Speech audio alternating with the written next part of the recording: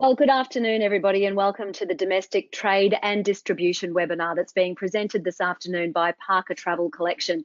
Today's webinar is the third in the Queensland Tourism Industry Business Capability Development three-year program COVID-19, Starting, Transitioning and Resilience. The program is going to be offered over two stages and will cover four key business activities that have been identified to help Queensland tourism businesses prepare for reopening. So stage one consists of four free webinars that have been taking place once a week up until next week, the 5th of August. These will all be available for tourism, travel and hospitality operators across the state. They're being recorded and the recorded webinars will be available on the QTIC website. Stage two will then include up to four sessions of 60 minute one-on-one online coaching sessions.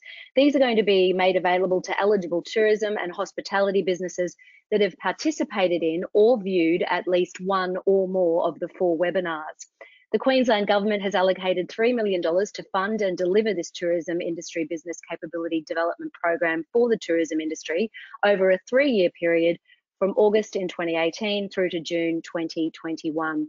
My name's Sofie Formica. It's my great pleasure to be back with you again this afternoon as facilitator. And this afternoon, we've got a fantastic panel to address this issue for you. Joining us, we have Brock, who is the General Manager of Parker Travel Collection.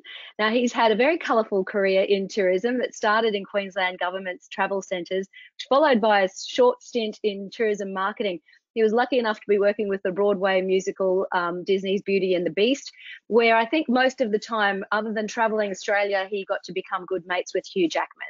So he wants everyone to know that he's got Hugh on speed dial. But following his brush with fame, Brock has then spent the last 25 years in Queensland tourism, firstly in hotels and resorts in North Queensland, before he joined his older brother Todd at Parker Travel Collection.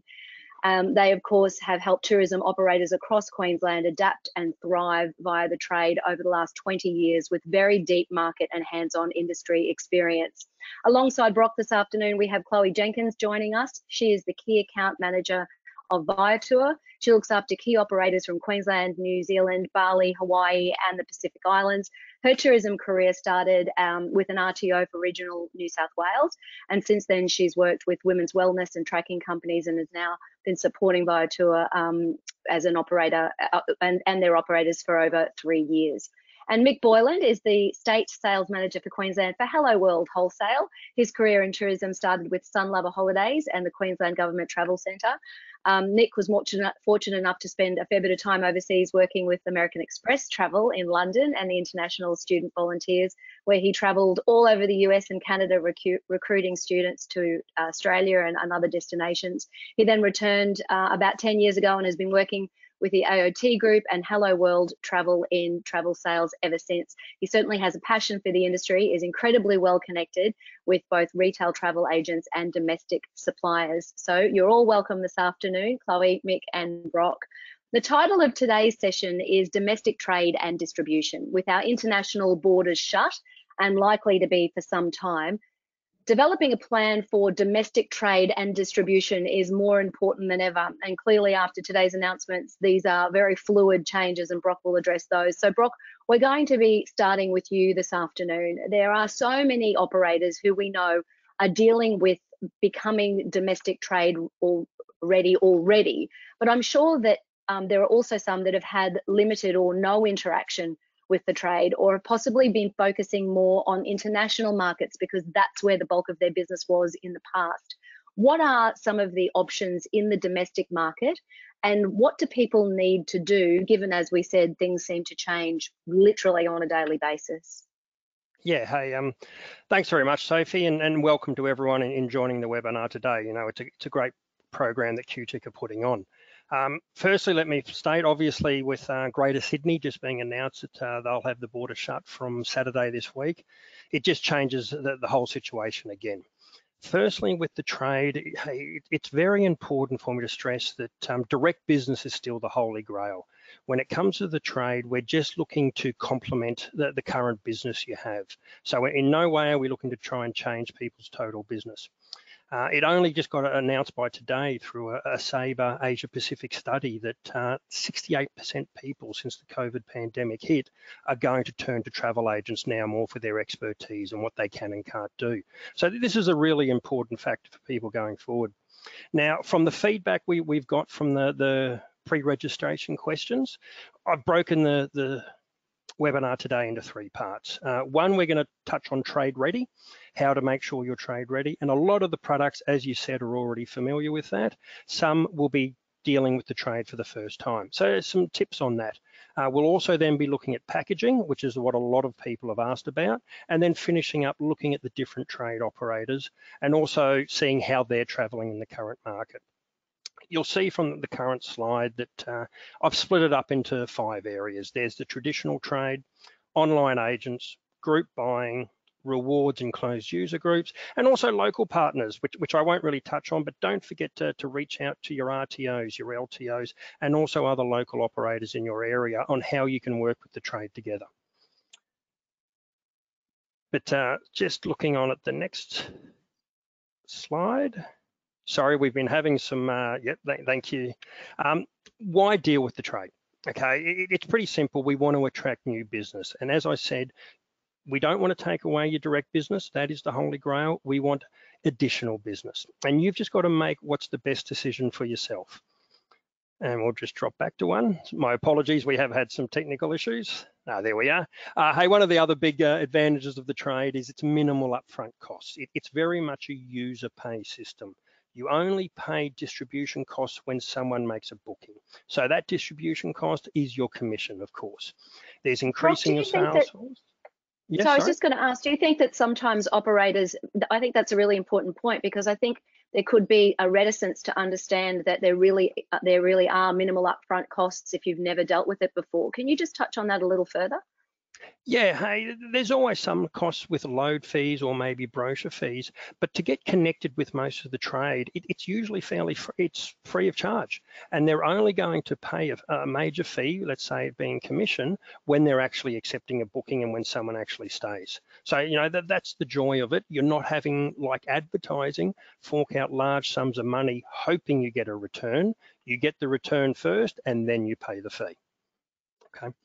Um, there's increasing your sales force, uh, and I'll touch on that a bit later. Obviously, we want to drive sales to off-peak periods, and the trade is a, is a great tool for doing that. The last one is something that grows your direct sales, uh, and it's called the billboard effect. It's something that the OTAs, the online travel agents, like to uh, push quite hard, but it's been going on forever. And it's the simple process of people going to a travel agent or going online, researching product, grabbing a brochure, and it actually still leads to direct sales. So dealing with the trade can also help build your direct sales. Now, what you have to do to work with the trade. And this is where I'll really refer you back to QTIC's online coaching program that they've got in conjunction with this program. Um, join one of those programs. There, there's a number of operators you can deal with. We're, we're one of them, so please choose us. Um, I had to put the self plug in there. But these are the factors that you have to do. Um, you've got to be trade ready. That's having your rate, your fact sheet, your images, your terms and conditions ready to deal with the trade price parity with the correct commission levels is very important, not just for individual bookings, but for the reputation and credibility for the trade partners.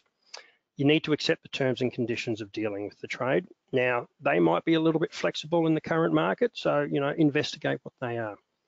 Simple and easy product. Now, when I talk about simple and easy product, let's say you're a hotel with 20 rooms, don't have 14 room types all right, that's not simple and easy.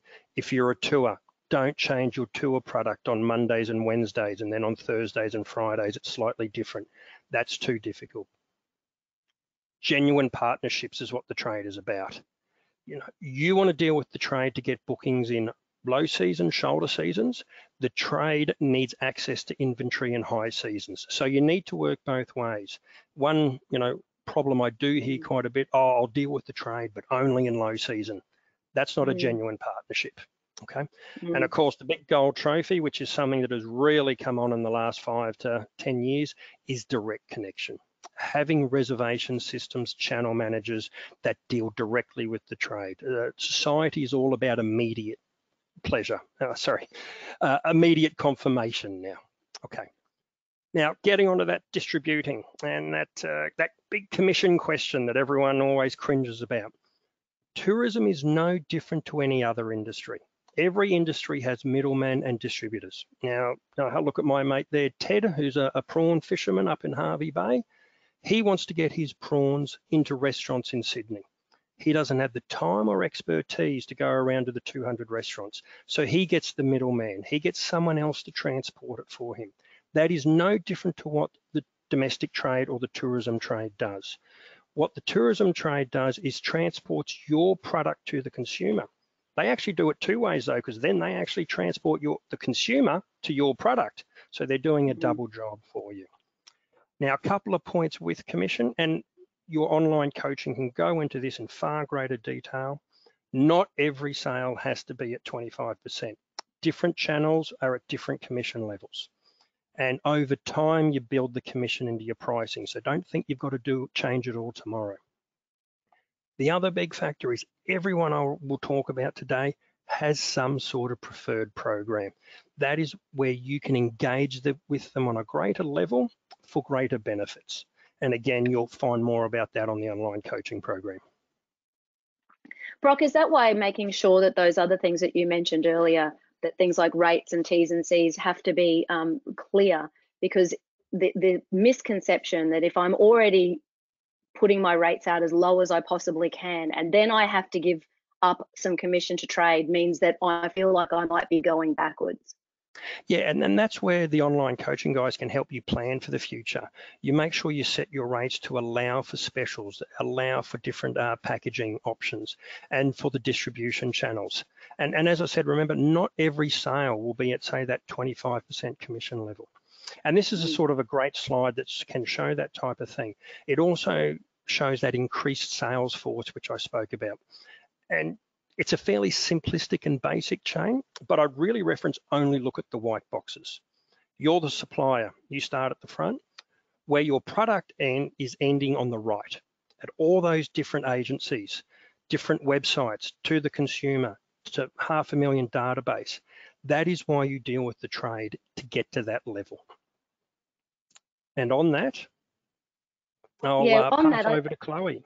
Yes. Yeah, absolutely. Um, that's certainly that extensive reach that that overall trade offers. So, Chloe, it is a perfect time to have you come back in and to talk about what the reach that you offer is for online tours, attractions, and ex different experiences. Thank you, of course. So as many of you may or may not have heard of Viator, I kind of wanted to give you a really quick rundown of who we are. So a little bit of history not many people know is the fact that Viator was started in Australia in 1995 and it was then acquired by TripAdvisor in 2014. So of course it is the OTA for tours, attractions and activities, but most of all we work in both spaces being B, B2B and B2C that a lot of people don't really realize with our distribution. So one of the areas of our B2B business is of course our travel agent program. Now it is a completely independent program where agents can sign up, whether they're home based, they work with an agency that's not a partner of ours. And currently we've got around 64,000 agents registered. A lot of those predominantly are US home-based travel agents who need the access to those platforms. All the agents earn commission, so they're not locked into you know, their businesses locked partnership agreements as well. Part of our B2B is, of course, our partnerships. So we also have really strong partnerships. We've got about three and a half thousand businesses that we work with, and that works through various ways, whether it be white label websites or whether it be powering the bookability on their platforms. So some may have seen Qantas is a really good example for Australian operators. Anything you do in terms of activities on the Qantas website to earn Qantas points is actually powered through Viator. Now, in total, between our partner and affiliate network and our agents, we have around 150,000 agents that we have touch points with. So making a point to Brock's stat, you know, earlier in the call, agents are going to be something that are kind of coming back alongside OTAs in this space. Now, of course, we do have the B2B, the B2C side, sorry. So the B2C side is, of course, through the Viator website and then also the Viator app. And then as well, TripAdvisor app and the TripAdvisor website. So in total, with all of the TripAdvisor media groups, we have around 523 million app downloads. So people are using these apps, they are looking for them. Being mobile ready is something that is so critically important right now. Um, and it's just something to be really mindful of in terms of that space. So basically with Viator, we want to talk about, you know, staying trade ready. So I'll just go to the next slide if that wants to load. Um, so it's really important when you're working with any OTA and following up from Brock's advice is it's one thing to list with an OTA, it's another thing to stay relevant. So my biggest recommendation is never list and leave. So don't kind of tick mm. the box and go, perfect, I'm with OTAs, done and dusted, never have to look at it again. As long as bookings are coming in, it's perfectly fine. That's not what you need to do every OTA will be updating their platforms, they'll be updating their systems, they'll be changing their technology, whether that be increasing image count, content. So making sure you are logging in regularly to make sure your everything is up to date. So things like availability, are you still bookable? You know, do they automatically extend your rates or is it okay, you load it up until 2018 and that's mm it? Um, a lot of OTAs might not pull through available, you know, um, rates and everything from an API system like a Rezdy or something like that. So you still need to go through and load that. So make sure you're bookable, number one. Um, you know, if you have live availability, make sure you're connected. Speak to the provider and say, you know, can I connect through to Viator? That makes your life a whole lot easier so you don't have to manage your inventory on multiple platforms. Um, if you don't have a live booking system, it is something to look at, especially in this quieter time. Can I just ask you, you mentioned multiple platforms and, and that often happens even as a consumer yeah. where you might see something and want to book it on one platform and it's available and then you realize that it's actually booked out somewhere else. Can you talk a little bit more about whether being on multi-platforms is a good idea? Is it a size thing? When should you be using one singular operator, uh, one platform or when you should use multiple as an operator? Look, it definitely depends on your offering. So I would say look at all of the partners and see what they provide, whether it be they are a specialist in your key market, whether they focus on multi days. So being prepared and researching who you're listing with, I would say is very important. I think it's integral to be across multiple. You can't put all your eggs in one basket. It's like the same reliance on going, well, I'm visible because I have a website that doesn't mean people will find you. So it is important to be across multiple, but it's important to be across multiple of the appropriate ones. Um, I would say in terms of just managing listings, it's a decent work and I think people have realized that over time. What used to be simply send your rates out and whatever comes back comes back. It's now about managing your platforms and managing your presence. So I do recommend people do really look at who they're listing with to make sure that they are appropriate to their target market or the markets they're trying to approach.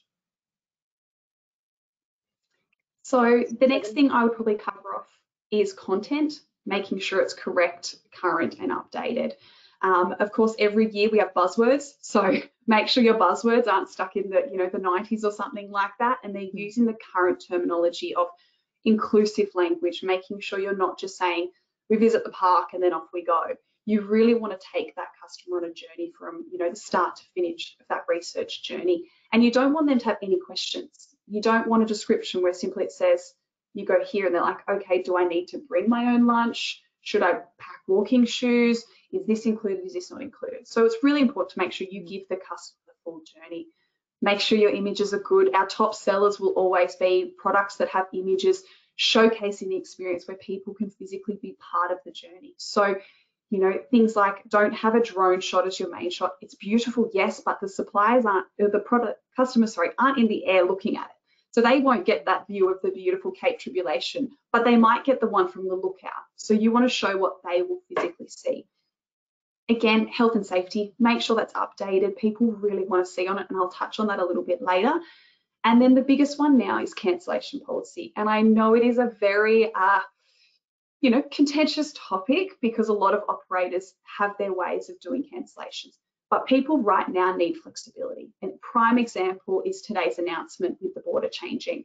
Mm. People want that flexibility and they won't book if you have you know a four weeks in advance cancellation policy because there's just too much risk at the moment. So you do need mm. as low as you know hours in advance people can book, but a flexible policy is really integral right now. Yeah, Chloe, I've even had a few people tell me, you know, the, this idea of you get a credit is even not enough at the moment. They really just want to know that if things don't work out, they can get their money back, maybe with a small fee, but beyond that, it's not really the credit, even the credit note doesn't seem to be doing it. Yes, and that's definitely, there's been lots in the news lately of people not getting their, you know, the credits have a six month expiry, for example. Mm-hmm. We don't know when mm-hmm. we can travel again. So that yeah. six months isn't good enough anymore. And I think it is something that customers are very aware of. And I do envisage that travel insurance policies will change after this. So it is something to be very mindful of. Mm. Thanks, Chloe. I'd really love to bring Mick into the conversation now, um, as Helloworld is one of Australia's leading and most visible travel companies, and they've been incredibly busy over the last few months. I'd love you to walk us through, if you wouldn't mind, Mick, what the distribution is that you offer for the Queensland tourism operator. Yeah, certainly. Uh, thank you, Sofie. Um, so yeah, I'll just give you a bit of a rundown. As you can see in the image there, Helloworld Travel, I'm sure you've all heard of this before, but we are quite a big beast and there's different, um, you know, channels that you can see, see in the image. But what we are basically is a travel distribution company that's based in Australia, providing international and domestic packages to clients all around the world. We have uh, more than 2,200 staff based uh, in Australia, New Zealand, Fiji, America, Asia, uh, India, UK, and Europe. Um, to give you a bit of background about Helloworld, it was launched in 2013 after a consol consolidation of um, legacy brands Harvey World Travel, Travel Scene, Jet Set, and Travel World. Uh, and then there was a merger with the AOT group um, in 2016, and then the business uh, formally changed its name to Helloworld Travel in 2017.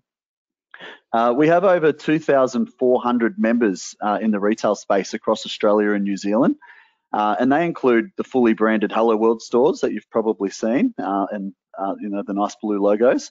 we also have Helloworld Associate stores. Um, a lot of those are in in our regional areas. Um, you know, which which have, which I can touch on a bit more um, as as we go through this because it's a big part of our business. We also have the Helloworld Business Travel, um, Magellan Travel, uh, travel brokers in New Zealand, and then we also have um, the home-based agency group MTA Travel, and uh, and also a smaller group called the My Travel Group.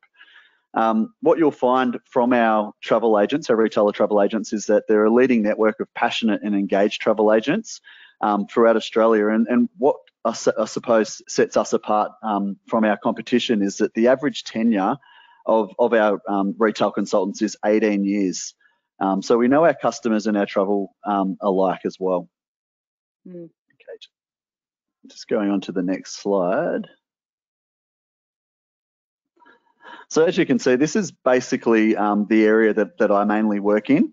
Um, so we've got Sunlover Holidays and Viva Holidays. That's our in-house wholesale brands um, for Helloworld Travel Group. Um, through these two brands, we have access to over 2,065 retail travel agencies in Australia, including the Helloworld Travel Network. Uh, we have the ability to connect and promote packages uh, and products to the widest range of um, retail travel agency network nationally. Um, we can also provide end-to-end -end solutions, including product and package development, event tourism, uh, retail network communication and training platforms as well.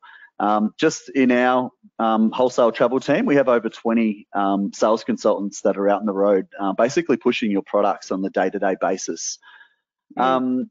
We also have um, direct to consumer brands as well. So both the Viva Holidays and the Sunlover um, Holidays brands uh, are, are, direct to consumer, and that and that seems to be growing uh, more and more each week, which is great as well. Um, and yeah, we basically do a lot of significant marketing activity um, to generate you know um, results for you, um, targeted to consumer and also trade at a national, state, and local level as well.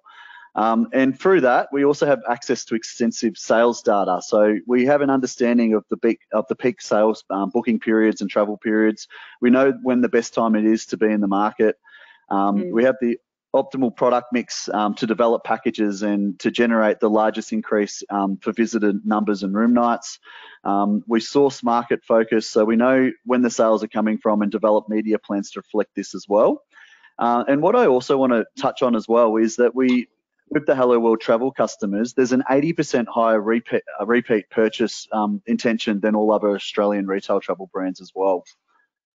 Um, and then the other um, channel that we've got there is Ready Room. So that's our low touch booking platform. And this gives our agents more control and flexibility when making a booking. So that's more for our dynamic uh, pricing inventory as well. Um, then you can see the Helloworld uh, retail network there that I've touched on. But as you can see there, the other retail partners that they're they're the other travel agency groups that we work with that um, that book through us as well. Certainly covering all bases. You didn't draw a breath there. I think we've got a really good understanding of all the areas that Helloworld certainly goes into. I'd love to just um, to bring Brock back at this point. Mick, we'll we'll talk to you a little bit more later. You know, you mentioned sure. earlier this, you know, the increased interest in in packages, for example. And whenever we talk about the holidays, we we often hear that term, "Oh, I want a, a package deal." So I guess it's a lot of uh, people who, who have been a part of the registration process for today want to know a little bit more about what packaging is and what it's going to look like and how it's going to work moving forward. And Mick, keeping you here, of course, if you can, you know, add anything from your experiences over the last few months with Helloworld, that'd be fantastic.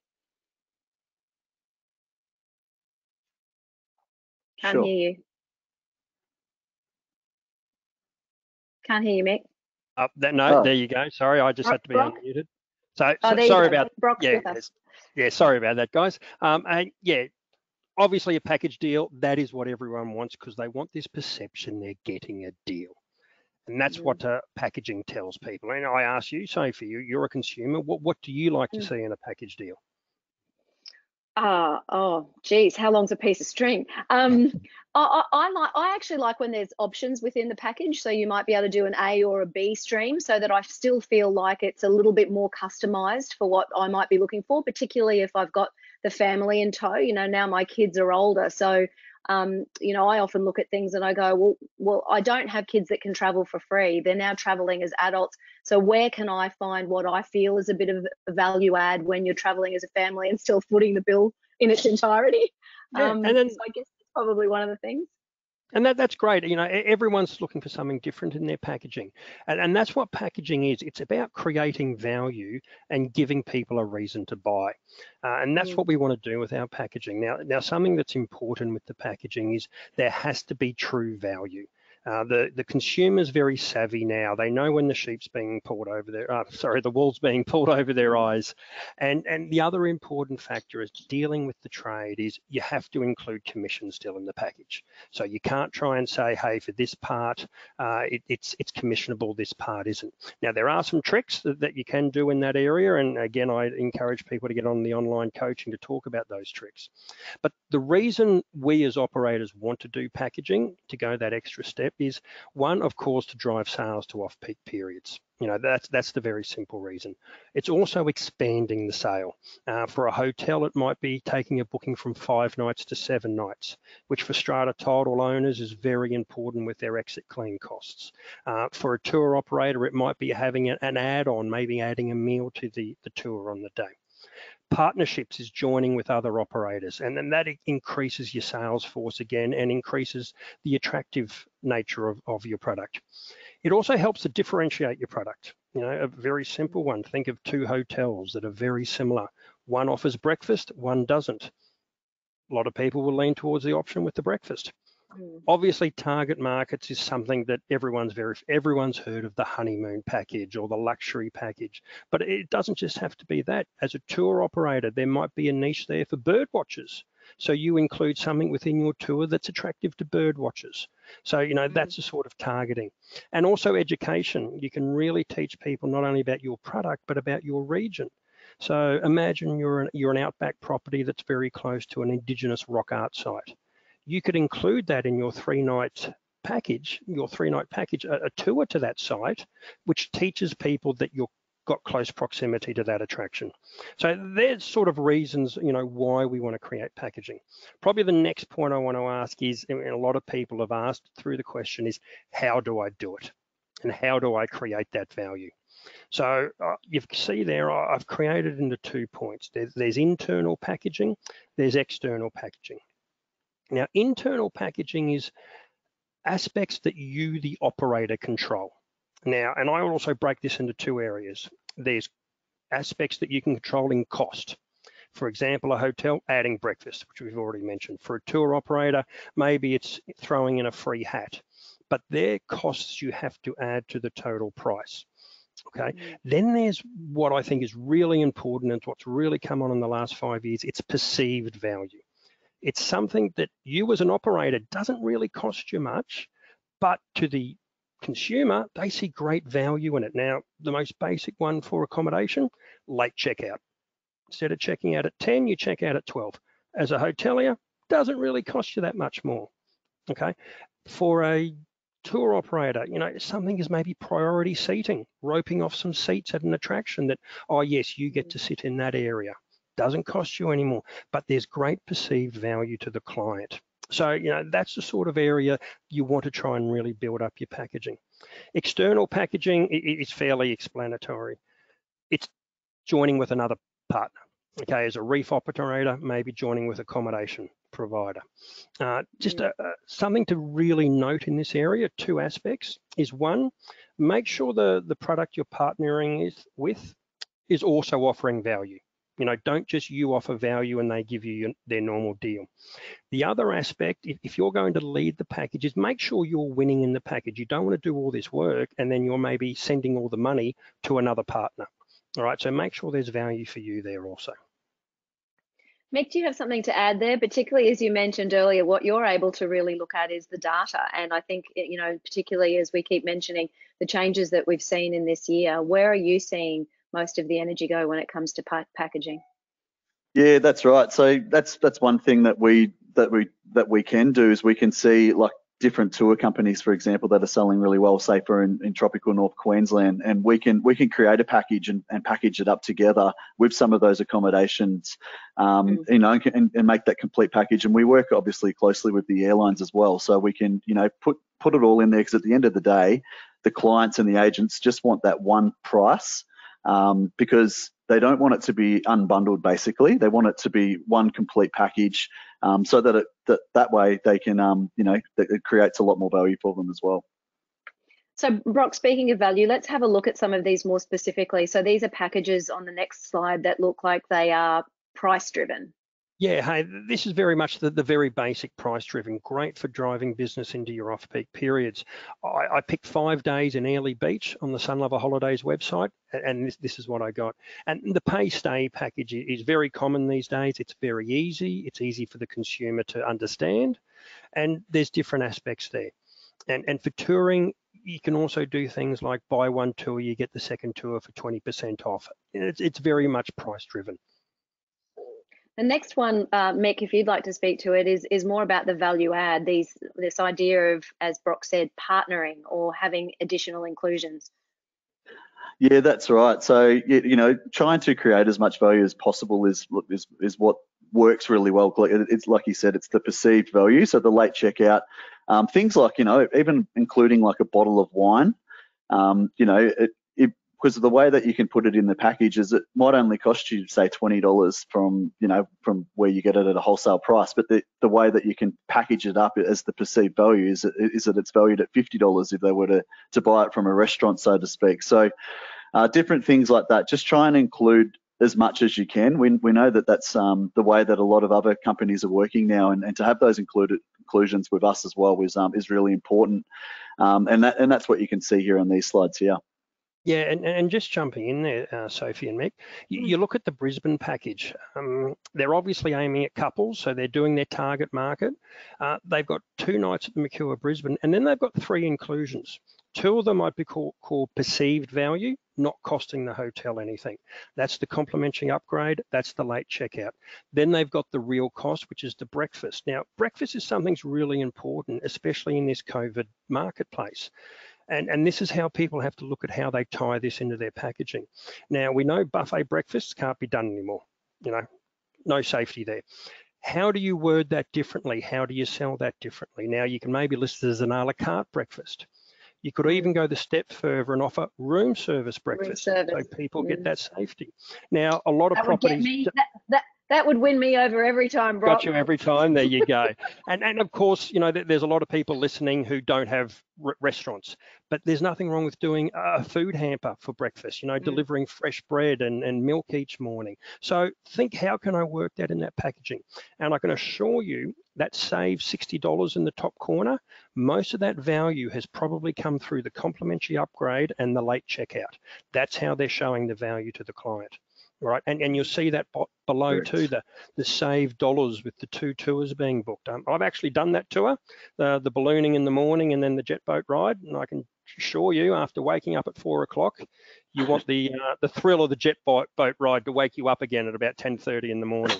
Um, and, and, as Mick said earlier, the, the, the Port Douglas package there is the classic example of the client wanting everything in one price. Seven nights, yeah reef tour, nice little internal inclusion, fruit platter. So that makes life very easy for the agent and the consumer. Mm. You, you, know, when we look at target markets, I think that this is really important because you don't want to be in a situation where you just throw everything at a wall and hope that something sticks. If you're going to the trouble to create packages, how important is it to make sure that you're also targeting specific markets?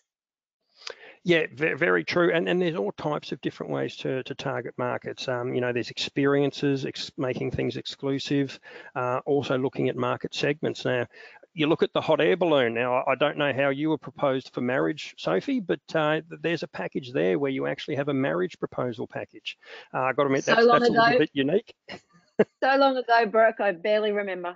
Okay, um, and then below it uh, is a really interesting package that's on on Viator, being a private tour up to the Sunshine Coast and Noosa. Mm. Now, a recent TripAdvisor survey since COVID has hit has shown that 62% of people now find private touring more appealing. So I throw that out there to all the people who have attractions and touring. What can you do to create a more private experience? Okay. Mm. And then on the right, the classic family package. Um, and yes, the Mantra is doing a very cheap deal at uh, pay four, stay seven, so three free nights in there, and there's a Kuranda tour. But what I really want to highlight is how they've advertised the price. Now, you as a, as a family person, Sofie, you're not interested in a per person cost, either as I, as a mm. family man. Um, we want to know what the total cost is, and there's been great effective sales strategies in advertising the total price for the family of four. So that, that's mm. something to note on how you present a package also. Um, Mick, I'm loving that there is so much focus, obviously, on the drive market and some really creative ways to be able to present a self-drive itinerary. Here's one here that's been packaged up in a deal. Would you like to walk us through this one? Yeah, so again, again, we when we look at the self-drive packages, we want everything included in it, and um, and these this is one that we've got just basically in, in western part of Queensland, just out of Brisbane, but we, we have these obviously all over Queensland, and um, they're really popular because the, the clients will get the car hire included, um, they'll get the accommodation included. They'll have some attractions included as well. Um, and then from a value add, from our point of view, we usually include some extras like a backpack full of um, goodies such as like um, road maps and um, stuff on local attractions in the areas as well. And, and these type of packages are only going to become more important with the current, was, uh, you know, state borders.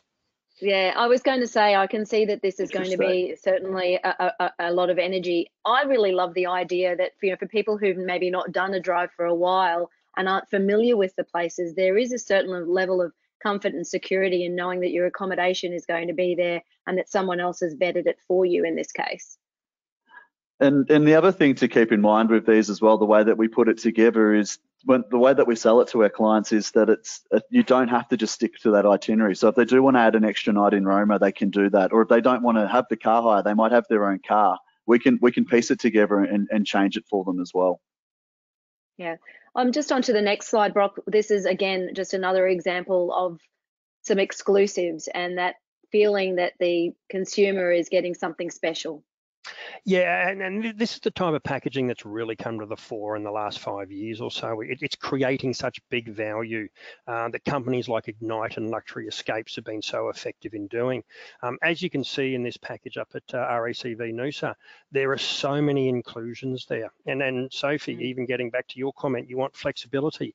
That's where a resort credit is great. You know, you get the decision, do you just spend it at breakfast or do you spend it in cocktails by the pool? Um, you, you, can make that uh, that flexibility there. What really is highlighting is what I've circled. You know, they've got the price at 4.99, but look at the the line below it. There's $1,052 worth of value in the package, which they're saying is 53% off. Now, uh, I do want to warn everyone before you go out and create some magical value numbers, the ACCC are very hot on this sort of thing um, and this sort of advertising. And I can assure you companies like Ignite and Luxury Escapes and, and all the companies are, are very careful in making sure the numbers add up. Um, though I got to admit the, the, the, second bottom one where you get complimentary use of the courtesy shuttle bus is a little bit of an interesting bonus item, but but this is the type of thing where you get a little bit creative with your packaging. Mm. Obviously, to the next slide, we are more specifically talking to some of the challenges that we're now faced with with COVID. Yeah, and and this this is just some tips of, of what you've got to look for, and and you know Chloe already touched on a couple of these. Um, obviously, it's a new market, and, and, this has been mentioned in the webinars before. Um, just mm. because something used to be doesn't mean it's going to be in the future. Just because September, October was peak season, school holidays in the past, doesn't mean it's going to be going forward with, with what's happening. Um, mm. Sofie, uh, sorry, Chloe mentioned uh, the safety aspect. It's so important. Get out to all your trade partners.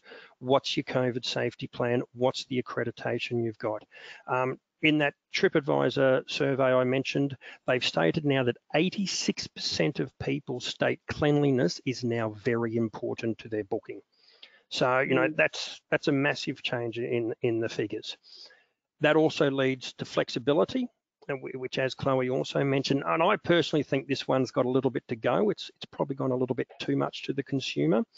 But in that same TripAdvisor survey, they said 76 people must, not just they'd like it, but they must have flexible cancellation fees.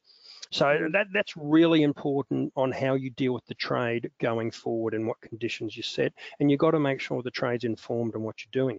And that also comes into the next point on transparency. We all know everyone lo loves looking at TripAdvisor. People are going to look at how you are uh, addressing those two issues of safety and flexibility.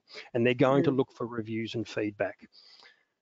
The biggest point I get from all the trade I've spoken to over the last six to eight weeks, they want your rates for next year desperately now. Chloe mentioned travel credits. A lot of them have all this money on file. They want people to make bookings, but they need your rates and information. So please act on that. Get your rates online and out to all the distributors right now. And, and, and the last Rob. point, yeah, is, is just back yourself yeah, sorry, yep. identify an opportunity and make sure you go for it. You might need six options for it, but you've got to mm-hmm. identify an opportunity and not just sit on your hands. You know, off the back of that, Mick, unfortunately, you know, COVID obviously and its impacts aren't going to be going away anytime soon, and there will be strong reliance on the domestic market and and you know and really within the domestic market. So, what are new factors that operators should consider and and affect really and put into action with the trade and finally their clients in this new environment? Yeah, as, as I mentioned um, a bit earlier, that we work in both the international and the domestic markets, and as we know that the um, the international market is is now off the target, you know, off the table for for a while for the foreseeable future.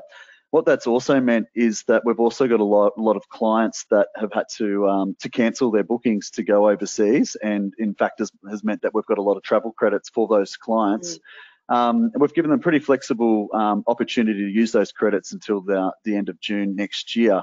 But in all honesty, there's probably we don't know what's going to be open internationally in that time. So it will mean that a lot of these people will need to spend that money domestically, and you know, the biggest part of our domestic market is certainly Queensland. So there's a big opportunity to get a lot of that money that was meant to be spent overseas uh, in the in the domestic market.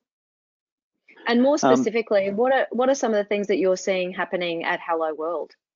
Yeah, so some of the things that we're doing, um, obviously the the way that we do business has changed as well. So previously, like I mentioned, we've got a sales team of 20 um, that, that would go around and visit the agents face to face. So we've now had to be a bit more creative. So we're now doing a lot of these type webinars uh, with them as well and, and virtual sales meetings. Um, we did a, a, webinar for the Whitsundays um, about two weeks ago, and we had over 350 travel agents um, sign up to, to watch that webinar. We did Tropical North Queensland last week, same sort of some sort of numbers. So we are getting a lot of our, our trade partners that are that are looking to um, you know to learn during this time, and really because a lot of the agents as well in, in the past have only sold cruise or international before. So now there's an opportunity for them to tap into the domestic market. So everyone is being gung ho and proactive and, and excited for it as well.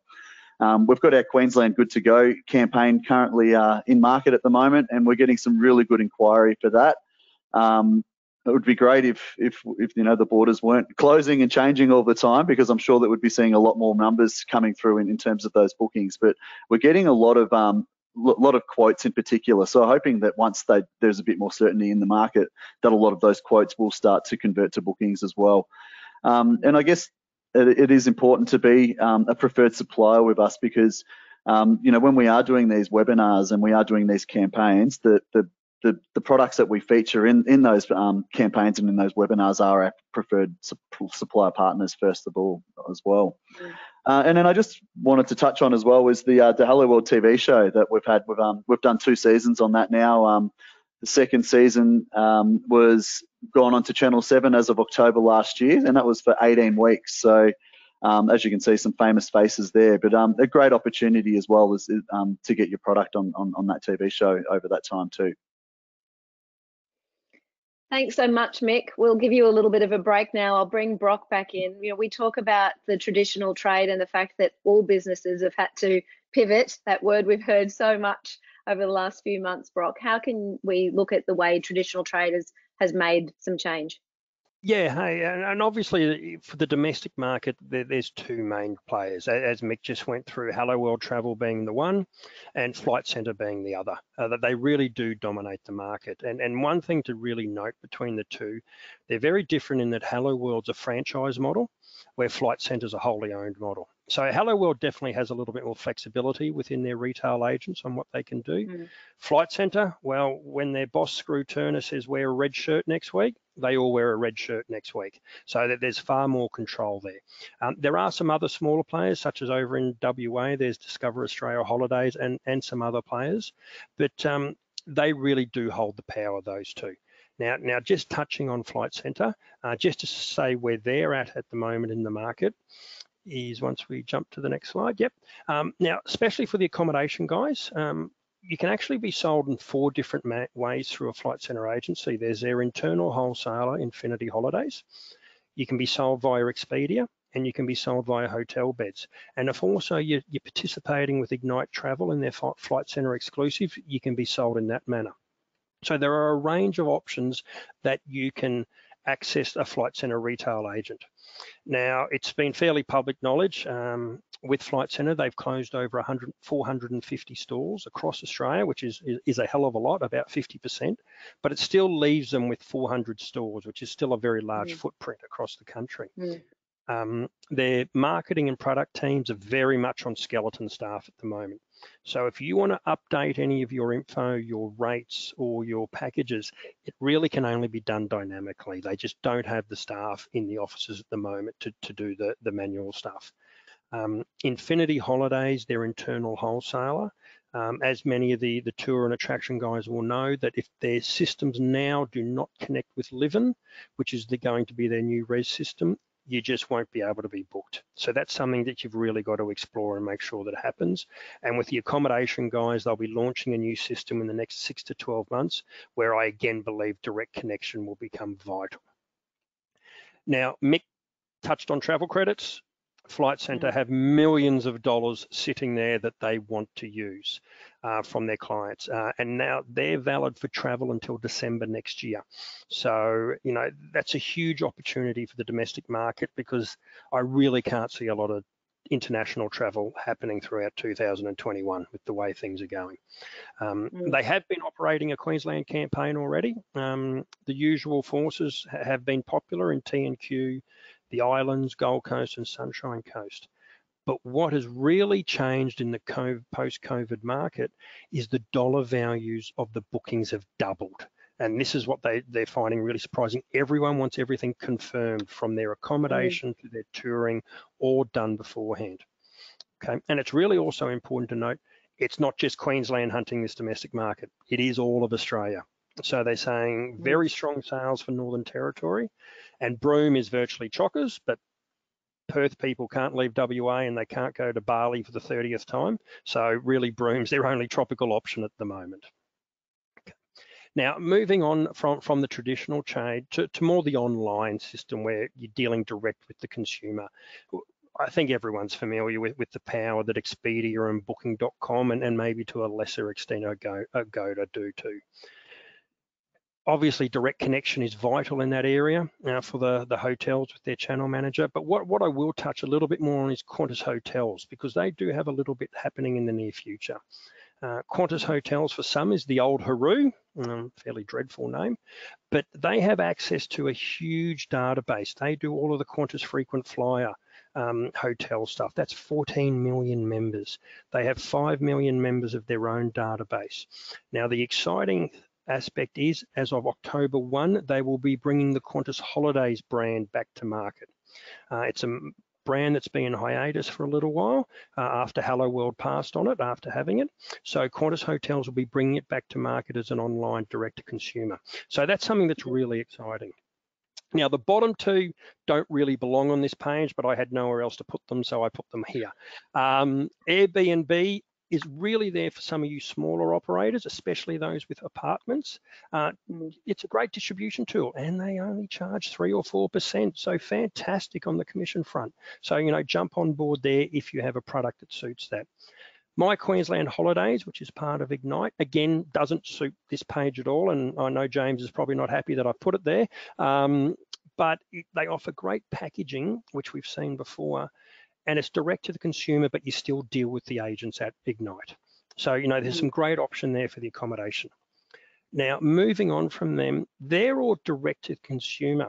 Now, there is also agents who only deal with the trade. So companies like Hotel Beds and Web Beds. So they're online travel agents who only deal with travel agents. Now, right. Booking.com and Expedia also do this, but these guys only exclusively deal with agents. And, and they have some great reach. Hotel Beds deal with 60,000 people worldwide. They did 60,000 room nights into Queensland last year, and 20% of those sales came from Australian travel agents. So there's real uh, potential there. Now, please note too, they do touring and attractions, so it is there for everyone. Web Beds, a little bit of a smaller operation, very similar to Hotel Beds, and is actually the B2B arm of Webjet. So there's some real potential in those guys. Keeping on the online theme uh, for the touring and attraction guys, Obviously, we know Viator's the big boy in this area, mm-hmm. and uh, I'll uh, get Chloe to run through some information in a sec for you. But there are other options. Um, Experience Oz, there's Expedia local experts. The, the guys in the middle, Klook and Get Your Guide, always been a little bit more inbound. Klook was a very heavy Asian focus and Get Your Guide very heavy European, but they do have domestic business. So as a touring and attraction product, you need to be connected with them. Again, my bottom line probably shouldn't be there, uh, but Big Red Group, which is adrenaline.com.au, and also the Red Balloon. Maybe yep. there are things in the past you said, no, not for us. Again, we've spoken. This is a new market. Have a look at it. Mm. Airbnb is really great for those small private operators. They only deal with very unique personalized product. So if that suits you, definitely get onto Airbnb experiences it's definitely really clear that um, because there are so many platforms, you really need to know where it is best placed for you to be putting your product so that you're speaking to the right audience. Definitely, and and you've got, and my point is, Sofie, you need to have all the information and then make the best decision for mm. your business. Not yeah, all of absolutely. these aspects suit every business. Um, Brock, that's a perfect opportunity to give you a little break and bring Chloe back into the conversation because obviously this is your cue, Chloe, to really give us um, a bit of an insight into the current market trends from a Viator perspective? Yeah, thank you. So um, as you've all heard, Brock's kind of mentioned a little bit about this TripAdvisor white paper that I do highly recommend everyone kind of have a look at, as there are quite a few key stats that have come out of it um, and obviously shape the market that we as Viator see as well. Mm -hmm. um, now they're on the screen, so I'll kind of let everyone have a bit of a look through in light of time, but there are a few that I really want to kind of push for and that I really want to reinstate that have been mentioned on this call. And one of those is 53% of people have said they'll do more in-depth research. So this definitely comes down to, as Brock was saying, the billboard effect. People are looking across multiple platforms. They are really doing their research and they are definitely, you know, landing on your own websites, um, whether they can book or not. So it's really important to make sure that you know, you're kind of across multiple platforms, but again, that are right for your market, but that people can see you correctly. Um, and along those research lines, they make sure that there's, you know, the information's there, so they feel safe and you know they trust booking with you. Um, you know, again, 76% want that flexible cancellation. 70% um, want to book in advance. So having a look at you know live availability or real time is something that we are definitely seeing as a huge trend. Um, you know, not just in Queensland, Australia in general, but globally. So for specifically Queensland, again, it's that self-drive market. It's understanding the Australian buyer. So everyone overseas loves the Australian traveller. Um, we spend big when we travel. So mm. there's no reason that people won't be spending big now traveling their own. And especially if we're talking credits that people are having, people are going to be spending those dollars um, in Australia. And looking at those packaging is really important, um, or looking at your value add it's not necessarily something that I recommend going straight into discount world. Um, I think it needs to be a very well educated um, decision that you make if you are going to discount because as you can see, 79%, um, sorry, there you go, 53% will seek value. Um, so it's not necessarily the lowest price anymore. People aren't kind of going, okay, I need to find the cheapest deal on the cheapest website. It's about finding value for what they're getting. And if it is those little perks and quirks along the way, I think people will be more likely to purchase um, on those, you know, trusted platforms. So it's really important to make sure you kind of do that. But in Queensland, we're seeing a really good, um, you know, high bookings in advance, but then also last minute bookings is still really important for that self-drive mm. market where people are you know, given Queensland, given Australian temperature, it's all about what the weather's doing. So people want to make sure that if I am doing, you know, the hot air balloon tour, or if I am going onto the reef, or if I am going to travel into the outback, I want to know that the weather will be okay. So having that last minute bookability is really important. Again, family circumstances change. The kids may really want to do a certain experience one day, and then you ask them the day before, and they, nah, not interested. So making sure you have that flexibility is really important because it is going to take a little bit of chopping and changing from some travelers um, on this front. So be prepared for that. Um, and I will just say mobile is key, making sure that you are mobile ready when people are doing those, you know, looking through the various sites. If you don't have a friendly mobile, if you don't have updated content, um, contact numbers and things like that, it is going to deter travelers. So use this downtime to make sure that you know everything is correct on your own website that you have that bookability your rates are correct um, and things that are really important to australian travelers is that trust they will book through a trusted partner and if you know things are clunky or the information's incorrect um, the australian market will deter and go somewhere else Thanks, Chloe. We'll bring Brock back into the conversation again. And if you've got anything to add to this one as we start to talk about group buying and, and some of these other brands, Brock, that now are really familiar to people um, and have become another platform for us to be able to, as consumers, look towards where we're going to choose to spend our money yeah, hey, you know, the, the, whole group buying companies like Luxury Escapes and, and, Ignite have really taken the market by storm in the last five or six years. Uh, it's yeah. been really surprising. Uh, there's a number of them. Now, I will state this distribution is not for everybody. Um, there will be some operators that will will shiver uh, in, in, just even the mention of them. Uh, but again, it's a new market. Make sure you're aware of your options and then make the best decision for your company. Um, there's Luxury Escapes. Scoopon are also owned by Luxury Escapes, but they do their three and a half, four star options. You've also got Groupon Travel. There's TripADeal. And then again, um, there's Flight Centre exclusives under Ignite. A little bit different to the other guys because they all go direct to consumer the Flight Centre exclusives is through a retail agent, though Luxury Escapes is starting to distribute through retail agents also. Now, just to go into Luxury Escapes a, a little bit more in detail. Yeah, uh, because I, have had a number of friends book through Luxury Escapes, and I've spent a bit of time looking on the website myself. It really seems to be quite a phenomenon, which, to be honest, sometimes it seems a little too good to be true. They've got some deals on at the moment, even to places where I know traditionally are, are that higher end and certainly appeal to the, the high value traveller that are really great deals. Yeah, and, and they they are, and, and that goes back to a lot of the building value that we talked about and the perceived mm-hmm. value that we spoke in the packaging area. But they, they really are, are a strong force, Luxury Escape. You know, they've got up to nearly 2 million in their database now. And what is really interesting of their database, is it's a huge amount of repeat customers. And not only that, is that they travel every year through Luxury Escapes. So they did 200,000 nights last year uh, across the world. Now, a huge amount of that is especially into Asia, to countries like Bali and Thailand. So they've got this repeat clientele who want to travel all the time, who can't travel overseas. So they're really going to be looking at domestic options. Now, the one thing I'll give Luxury Escapes and, and also Ignite is unlike some of the other industry who have maybe sat on their hands for the last month or two trying to wait to see what happened, they have been aggressive. They've really been going out to the market with strong deals. Um, their research at the end of June showed that um, their interstate searches were up 260% for Australia. Within Queensland, for Queenslanders looking for a Queensland holiday, was up 180% deals that they've had operate since lockdown started, since COVID has been around. A North Queensland hotel did over four and a half thousand room nights a property in the Hunter Valley did over three and a half thousand room nights. So that's that's a huge amount of volume. As I said, not for everybody. And there's also they do offer some options for smaller properties. So just don't think because I'm smaller, I can't sort of be in this. But it really is something to have a look at. But as I said, not for everyone, that's for sure.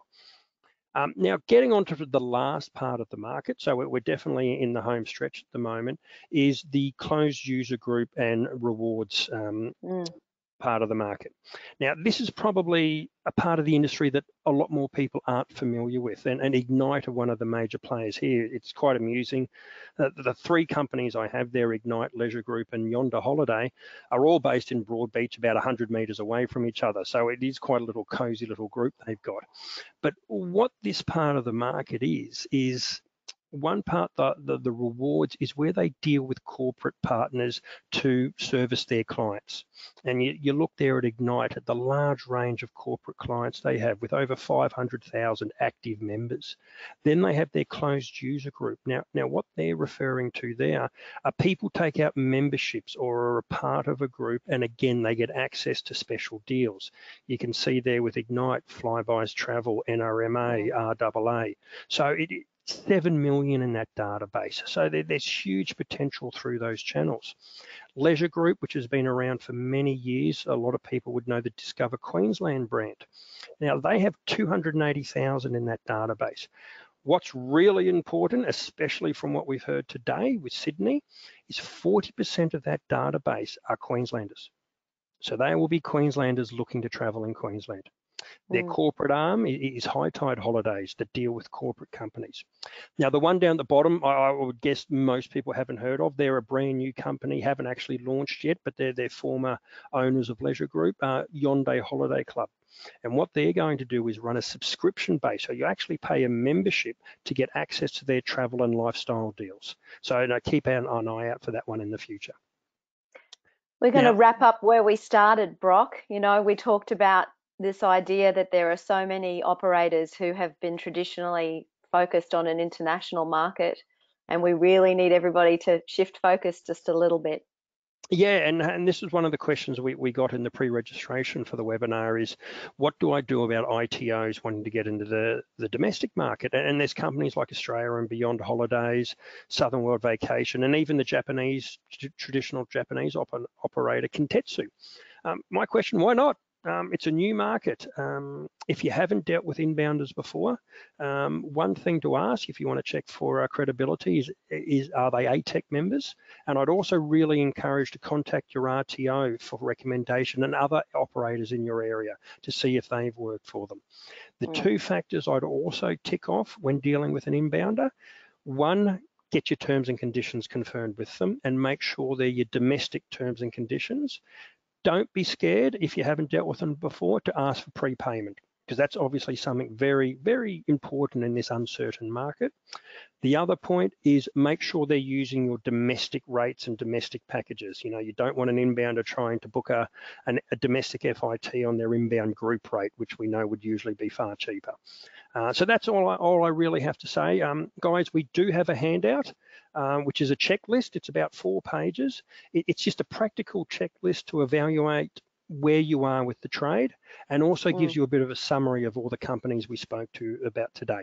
And that will he really help you to decide, you know, if you should be doing the online coaching, which again, I, I encourage everyone to do. Yeah, Brock, absolutely. And I think that that's probably a really wonderful place for us to wrap up. And I'd love Chloe and Mick to come back just so we can say thank you and goodbye because we have gone to time just perfectly.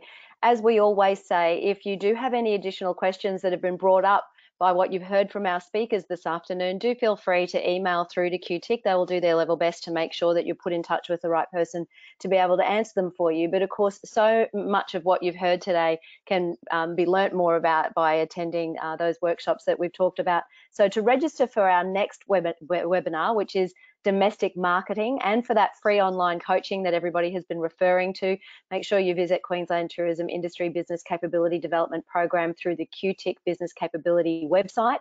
Once again, a reminder that all of the webinars that we've been hosting on a Wednesday afternoon will be available also to view through the QTIC website. So can I say to each of you, Brock, Chloe and Mick, thank you so much for sharing a little of your wisdom with us on this Wednesday afternoon. And thank you to the Queensland Government, the Queensland Tourism Industry Council, Tourism and Events Queensland, and the 13 regional tourism organisations for their continued support of this program. It is an initiative that has been proudly funded and supported by the Queensland Government through its Tourism Industry Business Capability Development Program. My name's Sofie Formica. Thank you very much for your time this afternoon. We look forward to seeing you for our fourth and final webinar next Wednesday, the 5th of August. Thanks, guys. Thank you, Sofie. Thank Bye. you.